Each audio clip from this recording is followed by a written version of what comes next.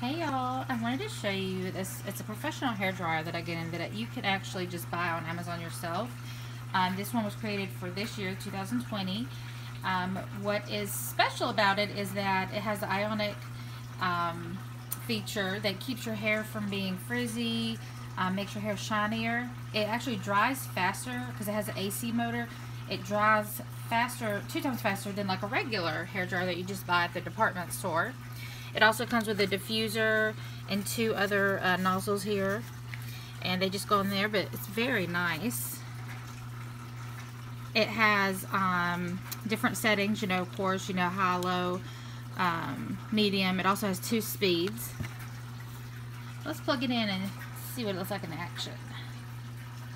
Okay.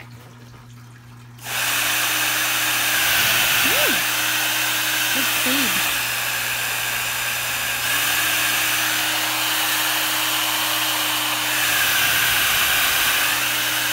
And also has the you know cool setting too. So, but I just wanted to let you guys check that out. For more information, just go to that link below. and check it out completely. Have a great day, y'all.